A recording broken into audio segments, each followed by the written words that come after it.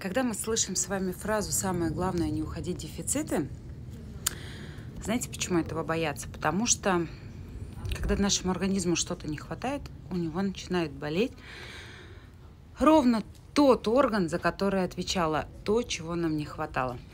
Мы очень часто с вами говорим о том, что упало зрение. Наверное, это возрастное. Да, возрастные изменения имеют место быть, но они могут начаться у вас в 60, а могут начаться в 40.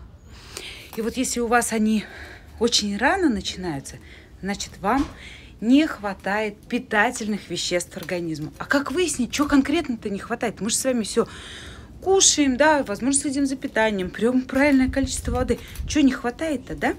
И для этого у нас с вами, с вами есть невероятный, бомбический, крутой тест фича – Каждый может пройти опрос и узнать, что ему не хватает. Но очень важно, самое главное, не забыть убрать галочку анонимность. Тогда я смогу вам рассказать, что же вам лучше пить и каких конкретно лично вам не хватает БАДов.